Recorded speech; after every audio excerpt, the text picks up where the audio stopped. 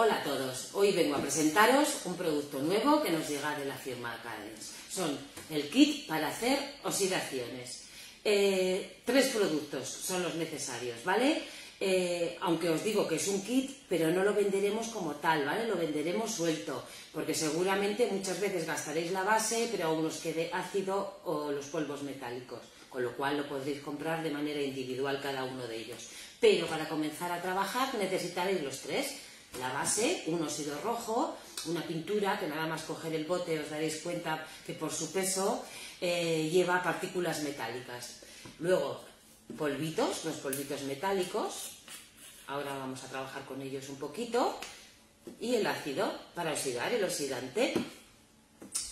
Eh, aquí tengo unas piezas que yo ya he decorado y ya estoy trasteando un poquito con ellos, viendo cómo funcionan, para ahora contaros cositas. ¿Veis la cabeza? cabeza de Zeus, también oxidada, súper chula. También esta bandejita, ¿veis? Todo el borde con los óxidos, que luego he matizado un poquito con el tono que puse dentro.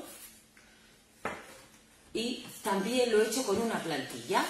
En este caso lo que hago es pegar la plantilla con el spray adhesivo para plantillas, pongo la base y sin menear la plantilla, sin levantarla, pongo los polvitos y pongo el ácido, ¿vale?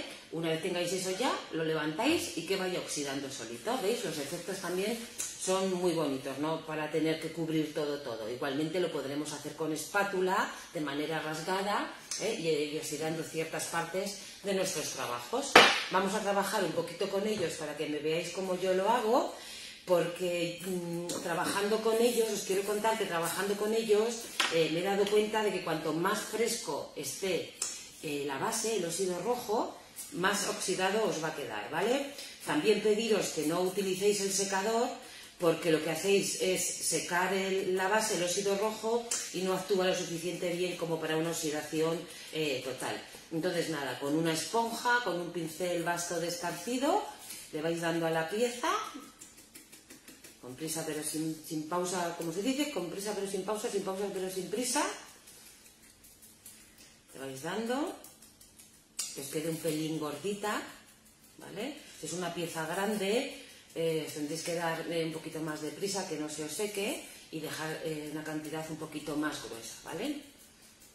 Vamos dando todo.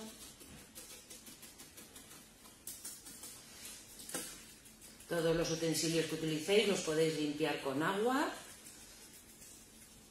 una vez seco podréis hacer todas las matizaciones que queráis, eh, pincel seco con pinturas mates, con pinturas metálicas. Eso ya como sois muy artistas, os lo dejo a vuestra mano. Es un producto súper fácil, súper sencillo de usar y de efectos impresionantes. Bueno, una vez lo tenemos ya,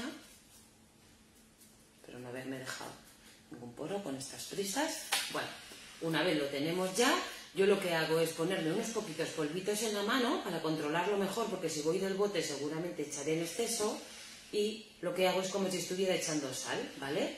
También cuando vosotros empecéis a trabajar con ellos, le iréis cogiendo el punto y veréis si os gusta más echarle más polvitos, menos polvitos, porque además hacen unos, unas eh, unos contrastes de color muy chulos, tanto si, eh, por donde las partes que lleva más polvos, por, por donde lleva menos. Deciros que este por sí solo con el ácido eh, también, también oxida, pero queda mucho más bonito con estos polvos porque hace los contrastes de color que os digo y porque genera textura, ¿vale? Bueno, el ácido, agitadito, se lo echáis.